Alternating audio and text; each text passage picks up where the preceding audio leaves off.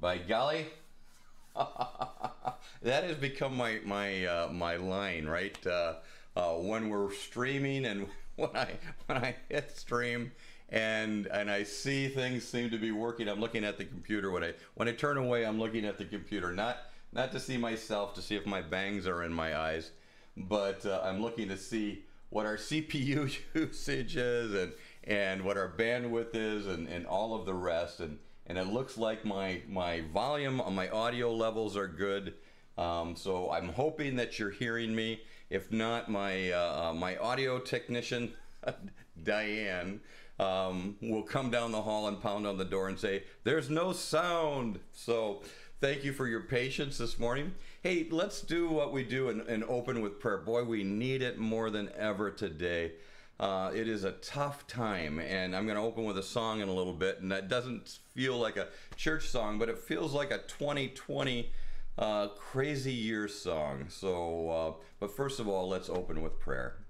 Gracious and Almighty God, I thank you for the blessings that we find, the, the silver linings in, in difficult, challenging times. I thank you for the the uh, the teaching of being able to learn to communicate with each other from from far away, Lord, uh, um, through through technology. I thank you, Father, for for your presence and your peace, the peace of your Holy Spirit. I thank you for for your healing spirit, Lord, for those who who are fighting all kinds of physical challenges, um, but especially this unknown uh, virus, Lord, and which has caused such upheaval throughout the world. Um, gracious God, I, I pray that, that you would guide those that you have uh, placed in leadership position and that you would give them wisdom and discernment and patience and peace. Lord, let us set aside the pettiness of politics. And maybe that's the greatest miracle we're looking for in all of this. Uh, and Lord, let us do what is best for all humanity. Gracious God, I pray these things and I ask your presence upon us in this day of, and time of worship. In Jesus' name, amen. Now, for those of you that don't know me, uh, and, and maybe this is your time to, maybe you're watching me live, maybe you're watching this as it's archived. Uh, I'm Dan Anderson. I'm the pastor at the Presbyterian Church in Spring Lake, where we have not met in person to worship on Sunday morning since March 15th. This is August uh, we thought it was going to be a couple of weeks. I know many people thought it was going to be a couple of weeks, but um, we, we, we seek the wisdom of our denomination. There are some people that are saying, hey, there are other churches that are meeting. Um, and and they're working around uh, uh, executive orders and all of the rest. Well, uh, as Presbyterians, we have always tried to be people that that that uh, went beyond. What's the word I'm looking for? And I'm trying to be careful here. Um, we were the first, we were one of the first. We split over slavery. All right? Um, we had the Northern Presbyterian Church and the Southern Presbyterian Church, but but we were willing to say this is wrong. Um, and and if you look at the Confession of '67, you're looking at uh, social issues, and the Confession of '67 is one of our confessions in our Constitution as Presbyterians, and what we call the Book of Order and it we believe that uh, uh, that the oppression of people because of their skin color uh, is wrong.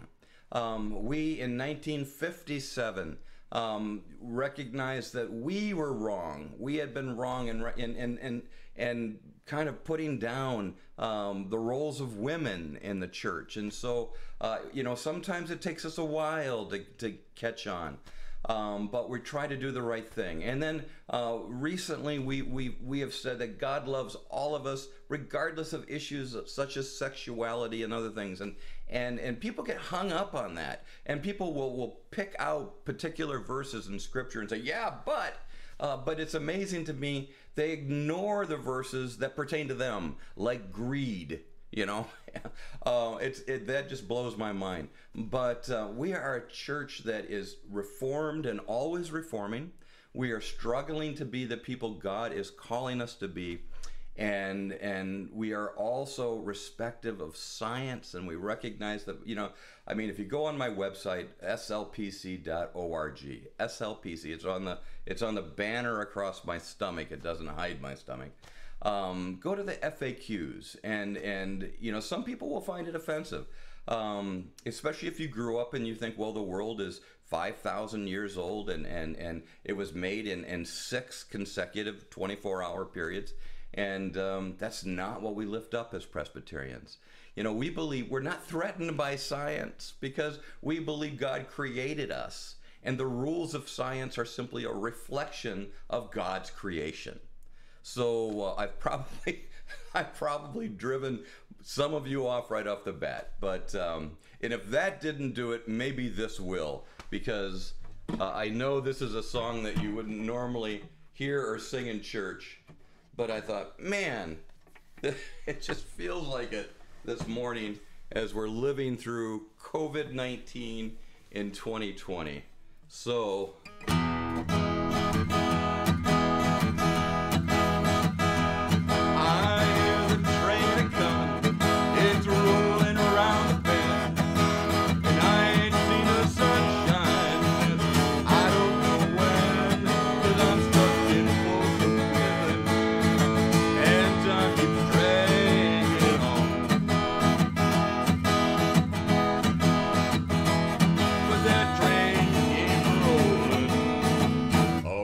To San Antonio.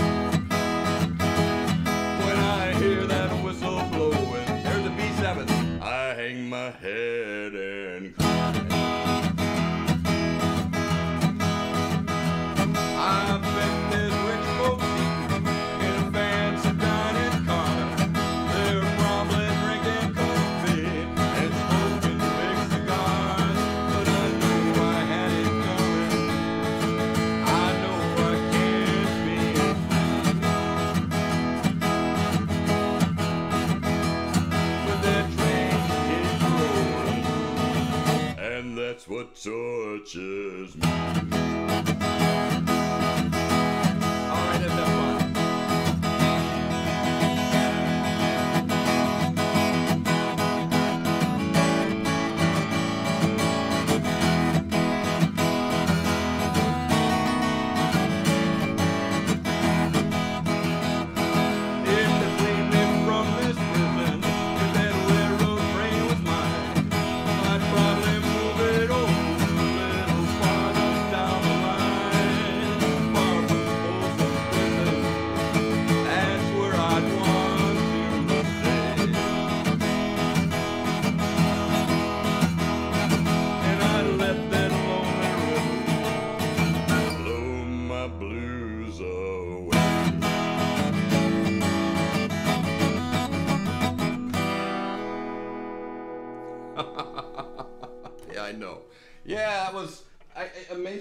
14th, March 15th. That was the last uh, Sunday that we, we sang that. It was one of our hymns. The whole congregation, the uh, the choir worked as the chain gang. Um, it, it was amazing. So, uh, thank you for your patience and tolerance. But it feels sometimes like like songs express uh, the condition of life that we're in, and and that just felt appropriate to me. Uh, well, I hope that you are doing well. I want to thank so many of you for uh, your faithfulness and and uh, supporting the ministry of the Spring Lake Presbyterian Church. It has not stopped. Uh, in previous messages, I've talked about the fact that uh, we are the church in, in, in spite of the building. I have been doing socially distanced weddings. I have been using microphones to, to not speak loud when I'm working with a crowd um, for a funeral outside. Um, and weddings have been outside. Um, I have I have worked. We had a, a wedding just just a little bit ago uh, of the Laura Sanchez, a beautiful young woman, 33 years old, who uh, confronted evil and and was was assaulted and stabbed and and died instantly in that attack. And uh, my prayers go out to her family, um, her siblings, her parents. It is such a difficult and, and challenging time for them. Um, and I, I want to thank um, Father Chuck, uh, Father Charles, uh, from St. Francis de Sales, who, who opened up this humongous sanctuary uh, up in Muskegon to allow everyone to spread out. And, and uh, as we remembered her and celebrated her life, it acknowledged the fact that this is not all there is, that resurrection is true, and that we will be together again. So these are, you know, the church continues to go on. Our, our food pantry, uh, our volunteers are still there throughout the week. They prepare for Friday. Uh, we work in partnership with Love um, in Grand Haven, and we have people that come over through the drive-through. We we are wearing masks. We're passing off food, um, and we make sure that people are cared for. Um, we're continuing to the, the mission committee, working in conjunction with the deacons, are, are in the process of developing a partnership uh, so that we can buddy up and, and keep in, in touch with each other so people don't feel as isolated. And we want to we want to do this so people can, can be together and, and, and even though we're separate and even though we're, we're trying to respect and acknowledge the fear that many people who are particularly vulnerable uh, to this type of virus um, still are, are, are in communication and in community with each other. So that's another important thing that we're doing. Um, and so I, I, I, the, I thank you for your continued assistance in doing that. And I also want to thank the people. We have people that are uh, have have sent us letters and cards. We have so many cards put up thanking us for for staying in touch like this, um, and and your gifts uh, and and from people who used to be strangers but are no longer strangers to us. We thank you for that support.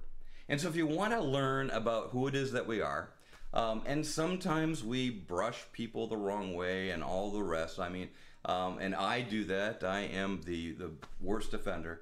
Um, check us out at www.slpc for Spring Lake Presbyterian Church uh, .org org and um, check out the FAQs. They, I wrote those, and it tells a little bit about who it is we are and what we believe. So hear me say that.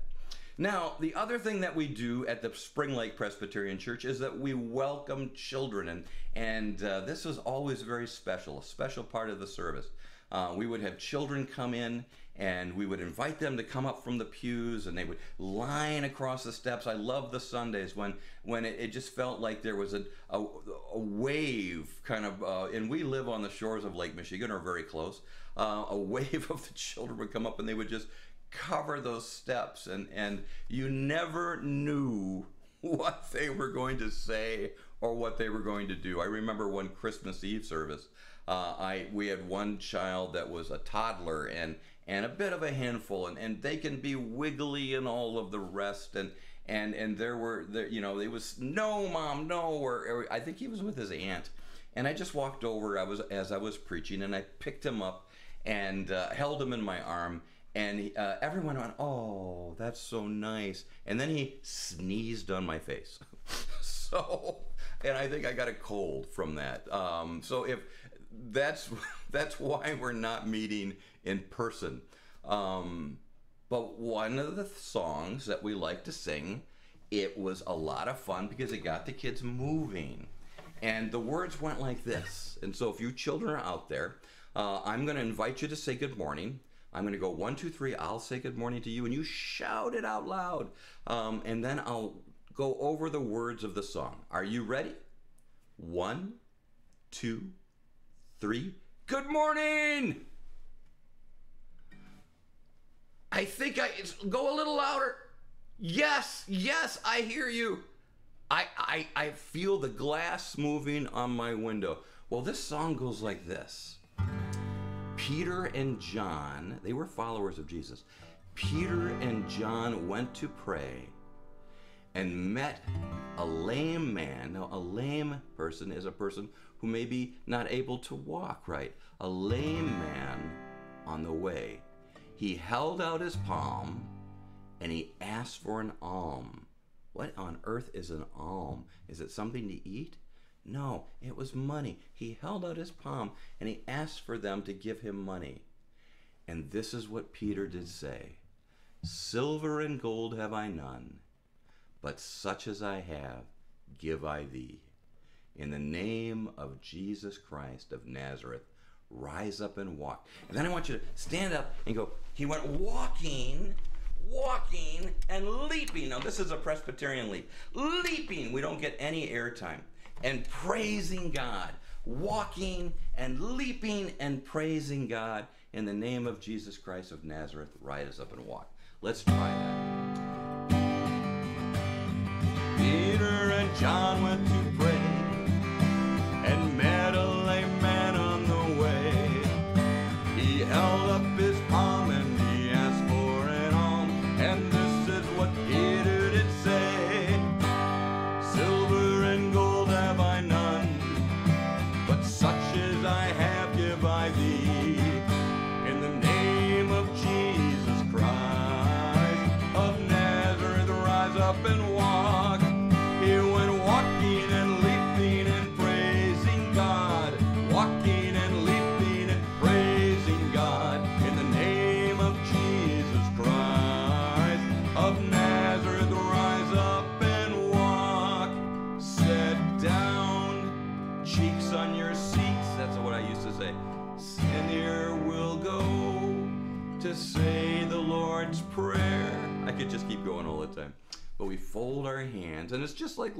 words of a song is learning how to pray the Lord's Prayer because the disciples had to learn it.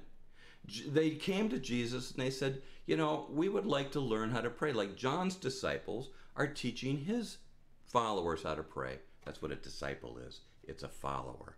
So Jesus said, When you pray, pray this. And these are the words are really close to them that he taught them. Our Father, who art in heaven, hallowed be thy name. Thy kingdom come, thy will be done, on earth as it is in heaven. Give us this day our daily bread, and forgive us our debts as we forgive our debtors. And lead us not into temptation, but deliver us from evil. For thine is the kingdom, and the power, and the glory forever. Amen.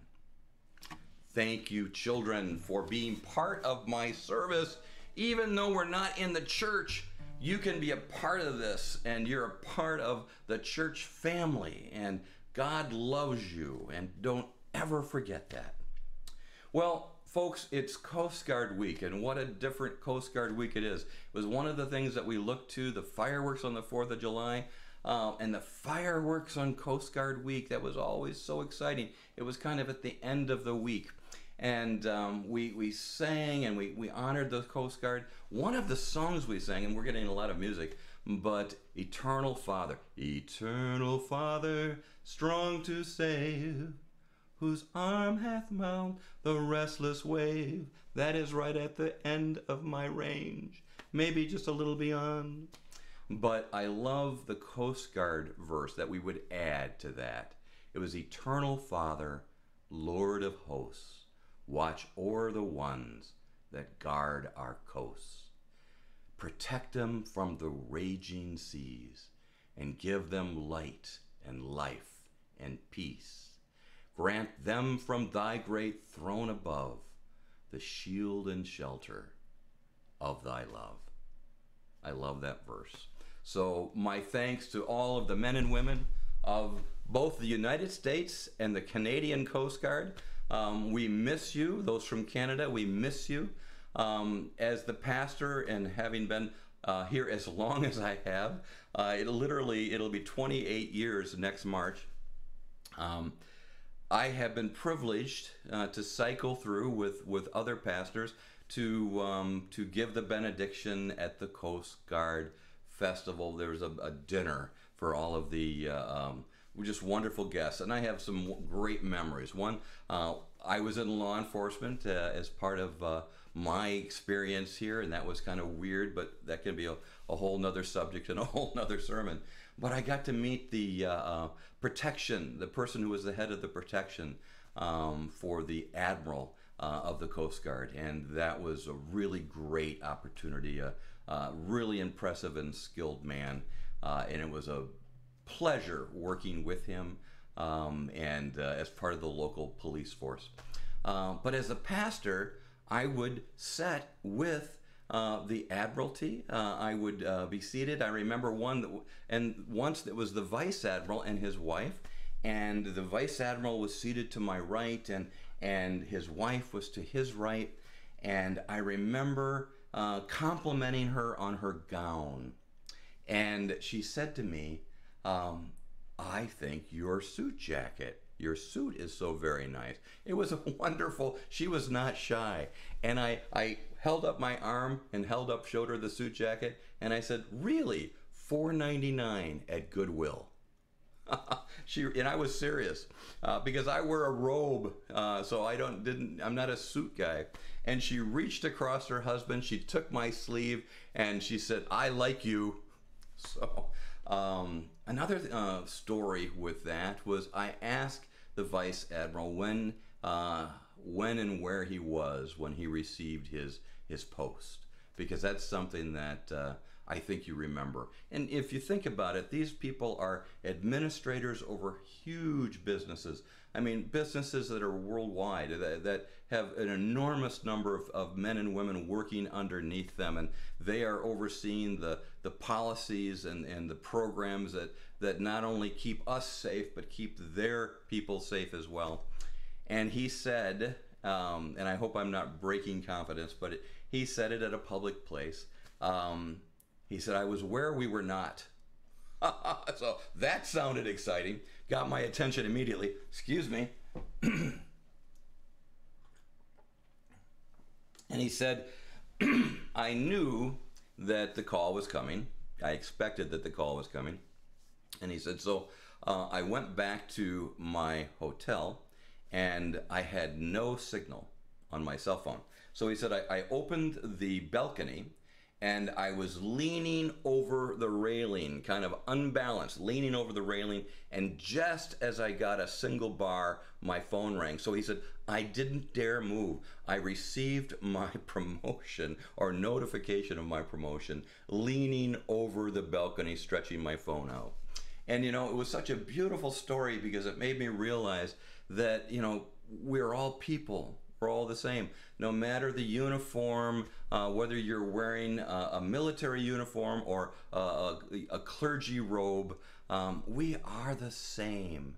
Uh, whether you work in, in, in industry, whether you're um, you know taking care of, of, of keeping all of the, the things that make a city run work, uh, we're all the same.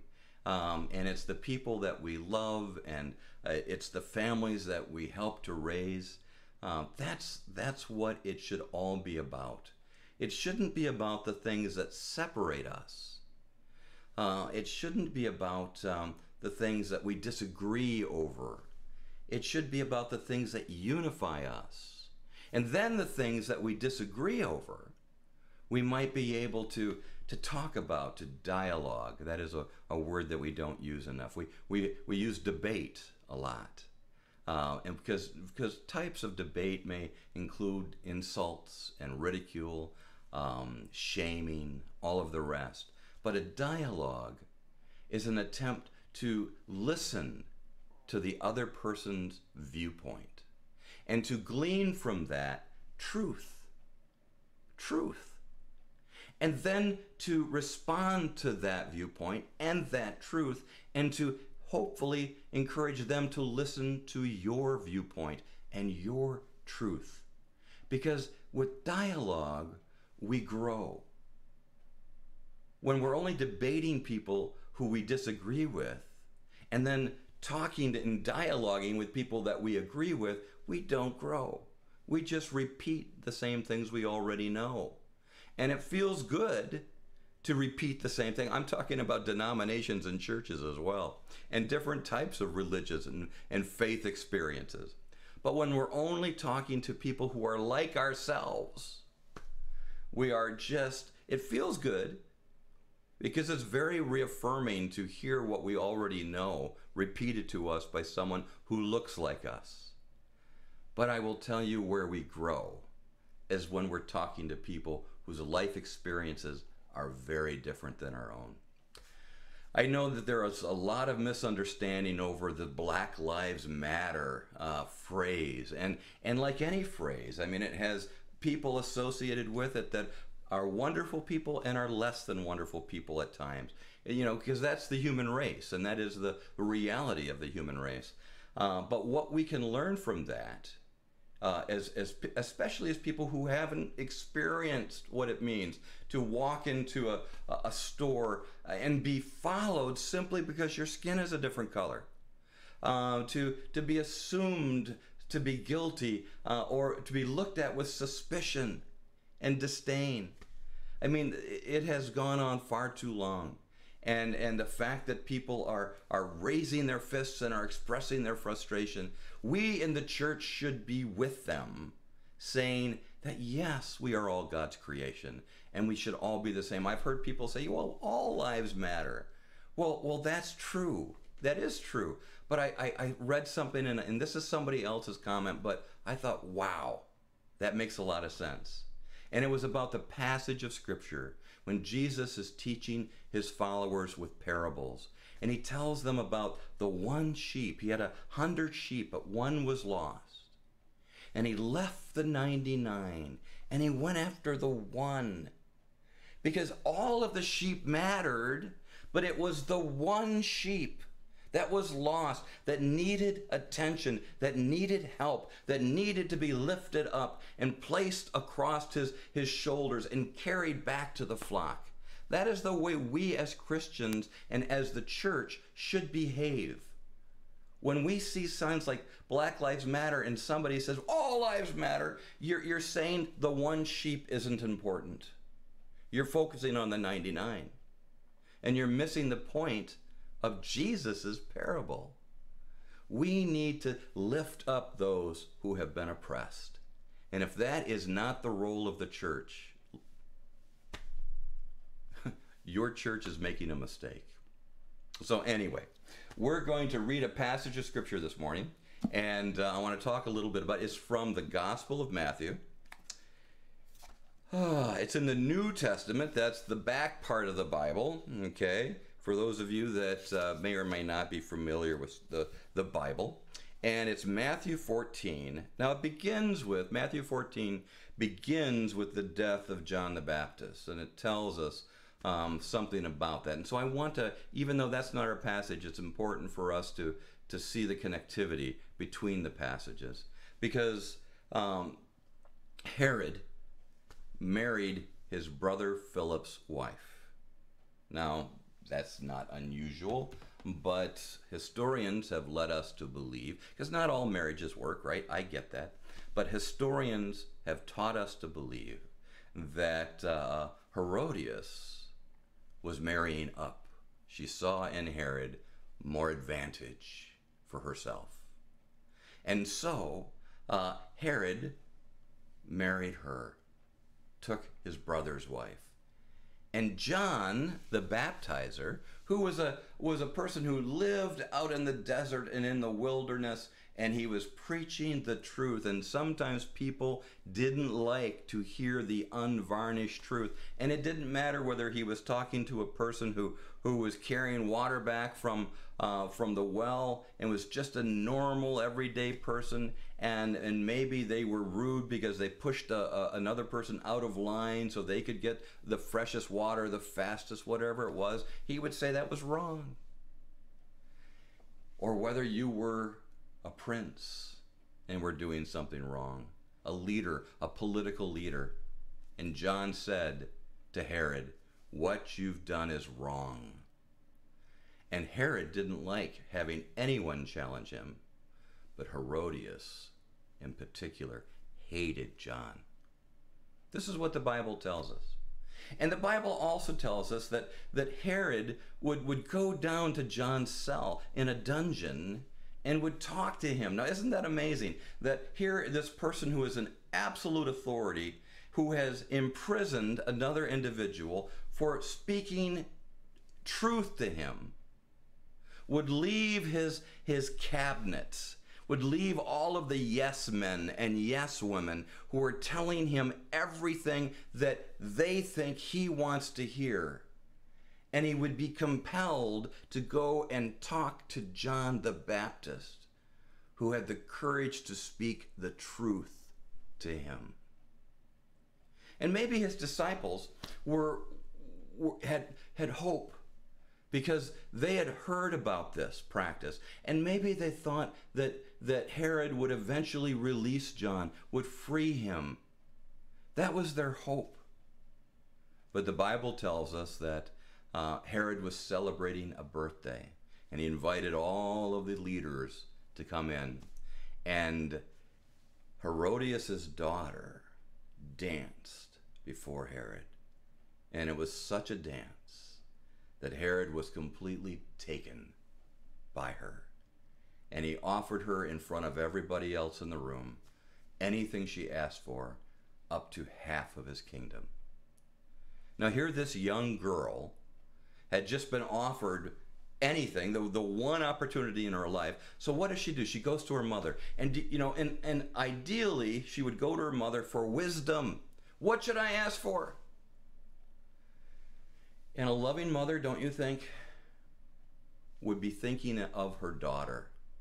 What could her daughter request and receive because the oath was made in front of the whole room that would benefit her daughter? But this is how sin works.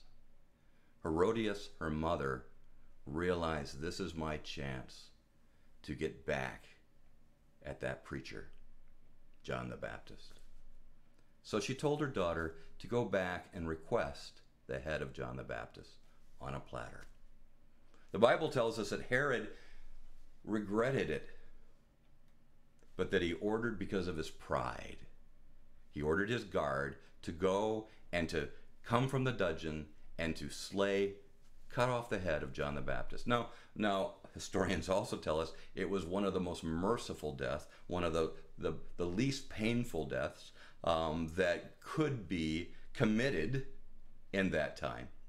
Uh, much worse than being stoned, which is what the church was doing at the time. Much worse than being crucified, which is what the Romans were doing at the time. But his followers had to be heartbroken because John was dead. Now that precedes our reading. Jesus hears about the death of John the Baptist, and he tells his disciples that it's time to leave the crowds and to find time for themselves. It had been chaotic, their ministry had been chaotic. It said that they hardly had time to eat or sleep, but to go to a place by themselves. And this is where our, our passage begins. Matthew chapter 14, reading verse beginning at verse 13. Now, when Jesus heard this, he withdrew from there in a boat to a deserted place by himself. But when the crowds heard it, they followed Jesus on foot from the towns. And when he went ashore, he saw a great crowd, and he had compassion for them and cured their sick.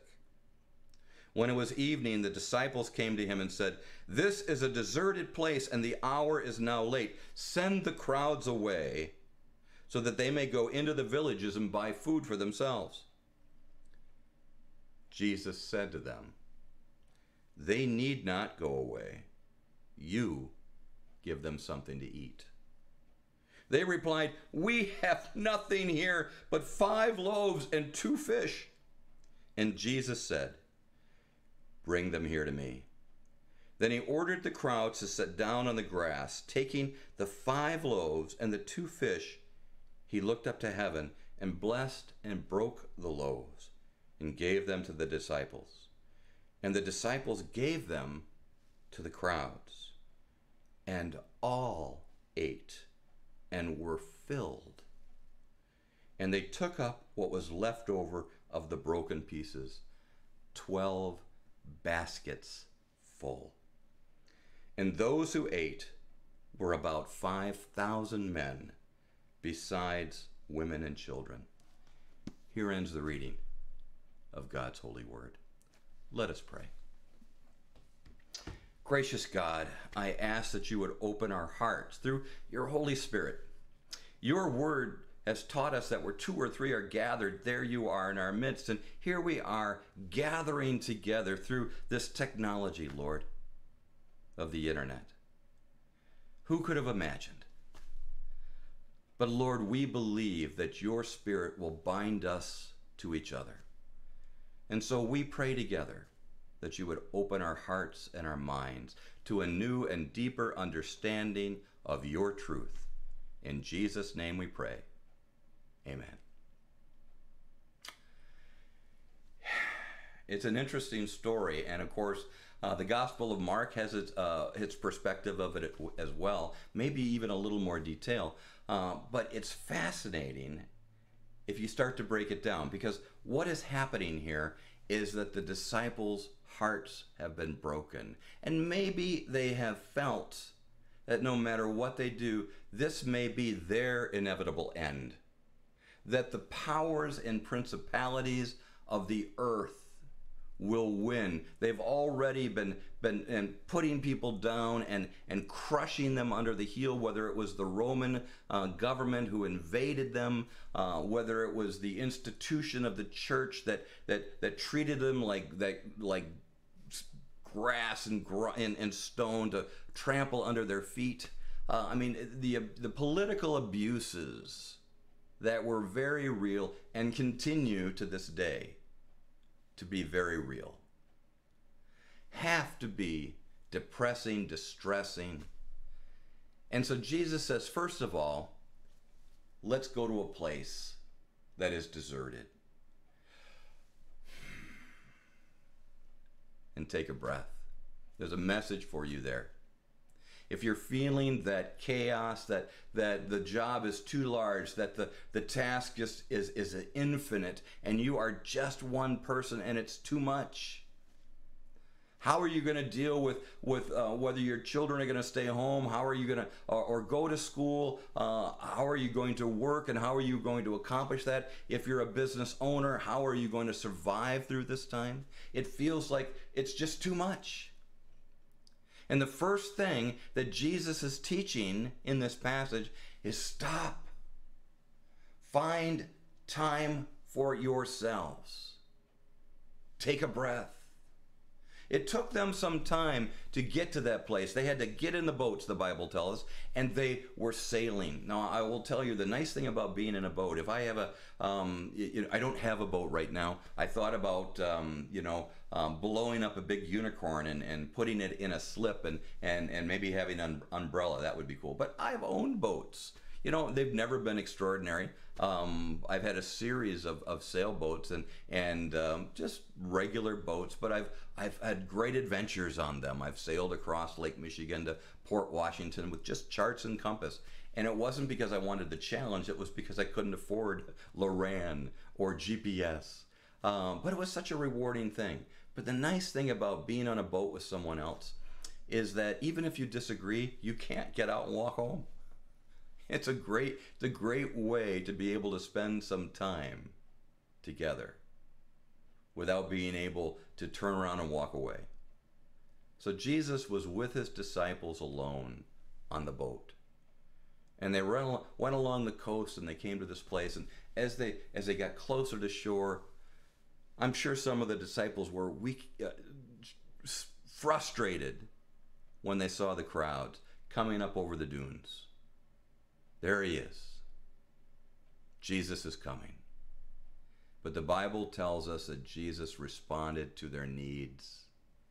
He had compassion upon them. The Gospel of Mark says that he not only cured their ill, but he taught them. Can you imagine? You know, for hours talking to them and and and, and answering questions and, and and teaching them spiritual truths. You know, that's what we look for in Scripture. You read the story and, and it's just a story. But if you can glean the spiritual truths from those stories, like this story. What is the truth? Well, number one, God recognizes our need at times to be alone, to take a breath. That we can't keep up with the, the, the, the ravages of the crowd and, and the, the fast moving water of politics. Step back. Sometimes people I know that are on social media will, will say, I'm, I'm off Facebook for a while because they just need a breath. I think that's a good thing. All right? Then Jesus saw the needs of the crowd and he felt compassion. This is the person we follow. This is my faith model. God's Son in my faith model so loved us that he responds to our needs. And then, after a whole day of, of curing the sick and, and teaching them, now it's starting to be late in the day and the sun is beginning to, to go down. And the disciples are thinking, oh my goodness, there are all these people here, and, and, and we have no food for them. So they go to Jesus because they're good administrators, thinking that maybe Jesus has missed this. And, and they say, hey, send them home. You're the one that they will listen to. Send them out back to the villages that they, they might buy food. And what does Jesus say? You give them something to eat. Now, that's the story. But the question should be why did Jesus say, You give them something to eat? Why? Well, I think, having just heard that the political powers had destroyed one of the greatest prophets that would ever be. That's what Jesus says about John the Baptist Elijah who is to come. After the powers of the world, because of hatred and jealousy and all of the negativity that, that is toxic, had killed John the Baptist. That had to be demoralizing for the disciples of John, of course, but also for the disciples of Jesus. They had to feel like they had no power. And what Jesus was showing them by having them participate in this miracle was that God always has power. Power to make a difference. The church, the disciples, the followers of Jesus, had the ability to participate in making a difference in the world. And so Jesus said, What do you have? Oh, two fish, five loaves. I mean, that's a handful. One person's handful. And he told them to set down in groups of 50s and 100. And he blessed, he asked God's blessing upon this food. And they began to distribute it. And it was distributed more and more, farther and farther. Now, there are some um, theologians who have suggested that they were just pulling the food out of their own cloaks that they had that they had held back for themselves because of their own selfishness and the basic human desire to care for themselves before they cared for others. Maybe that's true. It's still a miracle, nevertheless. Or there are many others, and, and, and I, myself included, who believe that God can take a little and multiply it. And amazing things can be done with just that seed five loaves, two fish.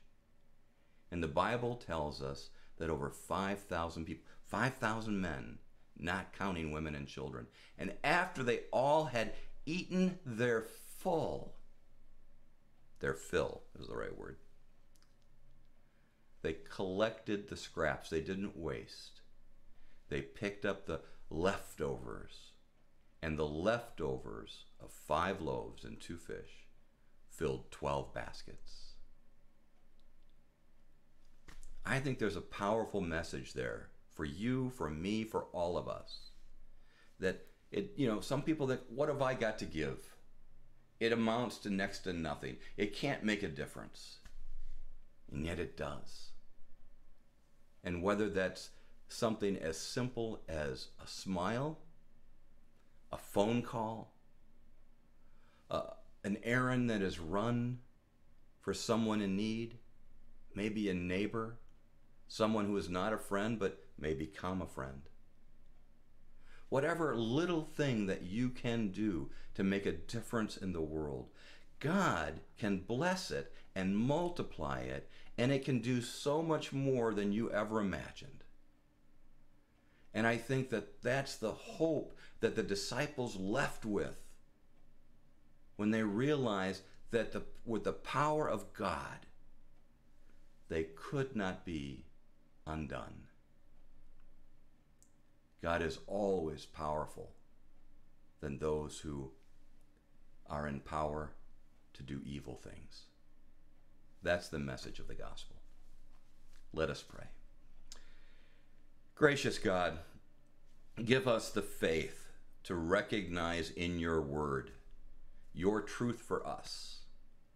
And Lord, help us always to be followers who serve with love.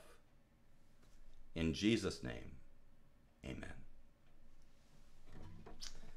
Let me end with a song, and then I'm going to, after I'm all done, uh, I'm going to post a link on this Facebook site. So if you're watching on my site, and if you're watching on the church, or if you're watching on the church Facebook site, uh, I'm posting a link, and uh, uh, it's again, it's special music that's been recorded in our sanctuary, um, very safely with social distancing. But it's a wonderful way for them to uh, lift up their gifts uh, and continue to do so. And I, I so thank those who have given of their time. And I know some people, you know, you, you have different politics, you have different beliefs about, uh, um, you know, how the church is even managing through this time of COVID. Um, but thank you for sharing your gifts with the larger world. Thank you for your compassion as you see the crowds.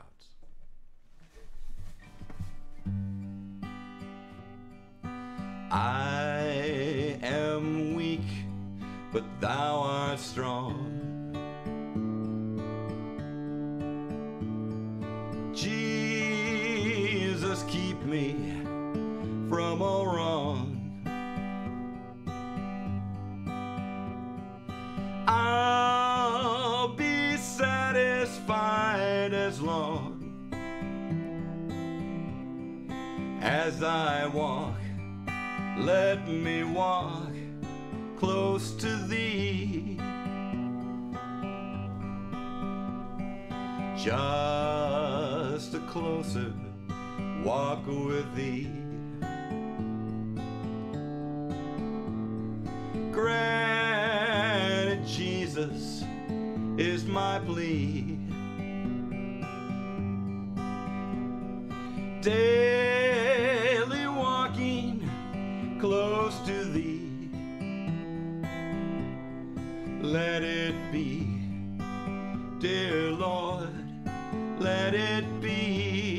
speed it up.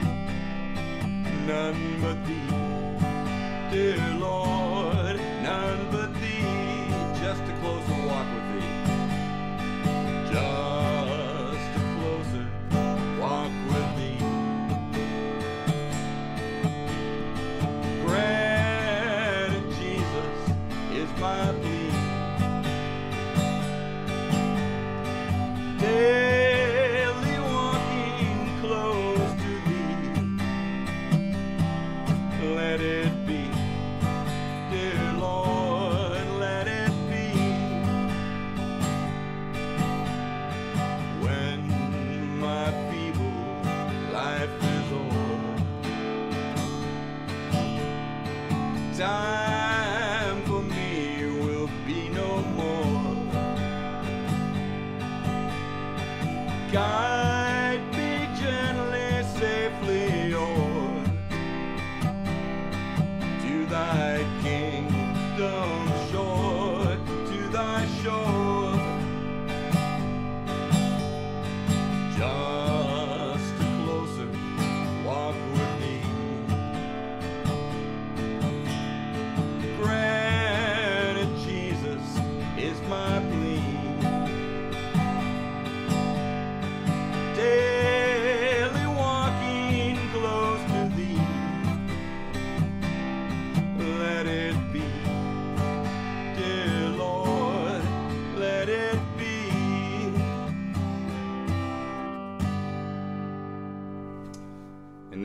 out into the world in peace.